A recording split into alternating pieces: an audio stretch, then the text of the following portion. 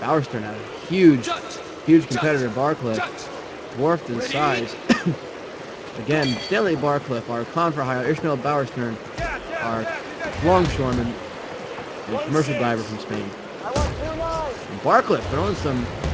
Somehow the referee got in the way there.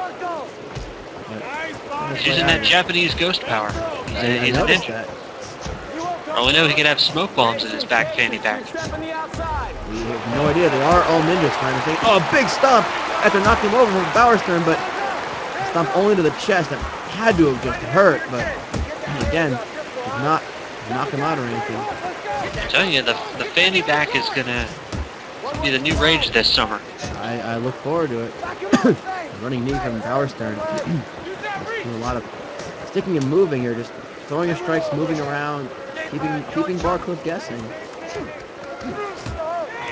Inside to the jaw.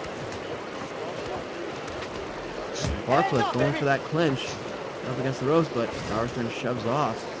The thing I like best about Stanley Barcliffe is, is his gimmick is not rented out uh, to other people that can't really get over in other uh, mediocre fighting leagues. Well, that is true. No matter how much Stanley Barcliffe is struggling as a clown for hire, he, he owns the Stanley Barcliffe character. Uh, he is the Stanley Barcliffe character. I mean, again, most clowns, he would have kind of a stage name. Nope, he is Stanley Barcliffe the clown.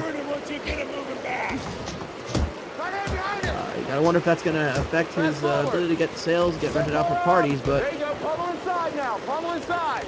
we're sure ha- happy to have him here in, as, as a member of the Human Cockfighting League. Try to get a takedown if you can. As long as it's not him in a SpongeBob SquarePants uh, costume. Which, by the way, I would kill for mascot fights. Just saying. I'd be all for it. Outside, keep the Sta- outside. uh, SpongeBob? Yeah, a SpongeBob mascot versus uh, the Kool-Aid Man. Yeah. I would love that too. I don't know who got rocked there. I think they both threw shots. Oh, it's Barcliffe and Bowerstern trying to finish this fight. It's over. The clown is down. The clown is down. And punching the clown is Ishmael Bowerstern. I don't care how brutal that last fight was. Whatever just happened, I don't even know what happened. But whatever just happened in the bathroom involving me and whatever you put in my drink. Uh, it was Let's just say- you asked for it. I'm moving stuff off the desk here. I'm gonna lay down on it because I can't sit. Oh, oh, oh, come, come, come on. Oh, Randy. Hi, you brought this on yourself. I, I think you might have broke sea level. oh, I did. Oh boy, did I break sea level. I broke it's- A it's level. all the cheese. It's far too much cheese. No. And Ishmael Bowerstern. Oh.